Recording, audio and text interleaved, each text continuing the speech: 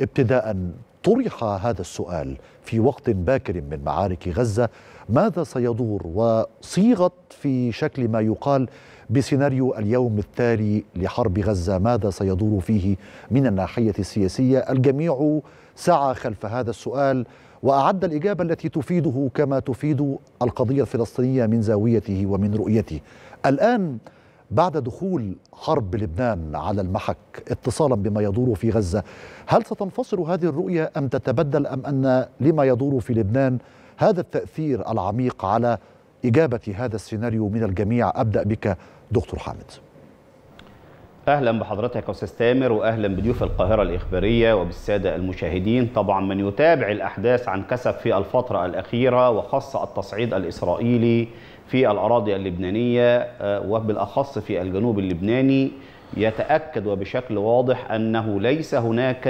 لدى حكومة الاحتلال الإسرائيلي أي فرصة لتحقيق وتنفيذ مبدأ حل الدولتين والانسحاب بشكل قاطع من قطاع غزة وأن يكون قطاع غزة جزء من حكم السلطة الفلسطينية باعتبار أنه لا يمكن فصل قطاع غزة عن القدس عن الضفة الغربية لأنهم هم المكونين لدولة فلسطينية كاملة العضوية وكاملة المساحة طبقا لقرارات الشرعية الدوليه وقرارات مجلس الأمن ذات الصلة لأن حكومة نتنياهو تريد أن تحقق مآربها من التصعيد في الجنوب اللبناني لاتساع أمد المعركة مع عدم إنهاء الحرب في قطاع غزة خاصة أن ما شاهدناه هو محاولة لتكريس واقع جديد داخل القطاع وشطر القطاع إلى نصفين وإعادة احتلال الشمال شمال قطاع غزة وإقامة محور نتساريم ده دليل قاطع على أن هناك رغبات حقيقية من قبل حكومة نتنياهو للبقاء داخل القطاع إلى أطول فترة ممكنة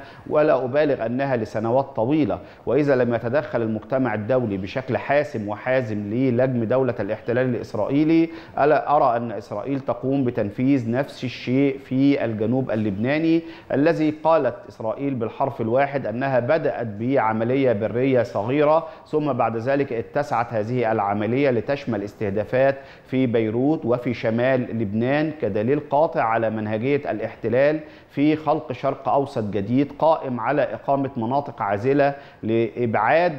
من يعني يستطيع أن يصل إلى المستوطنات سواء في شمال إسرائيل من جنوب لبنان أو حتى من شمال قطاع غزة عن مستوطناتهم ولكن في كل الأحوال هذا لن يحقق الأمن والأمان لإسرائيل والأمن والأمان لإسرائيل يتمثل في السعي وبكل قوة إلى تنفيذ مبدأ حل الدولتين خاصة بعد هذا التصعيد الخطير اللي يظهر ويؤكد على نظرية أن العامل الأمني والعامل العسكري لن يحقق الأمن لإسرائيل.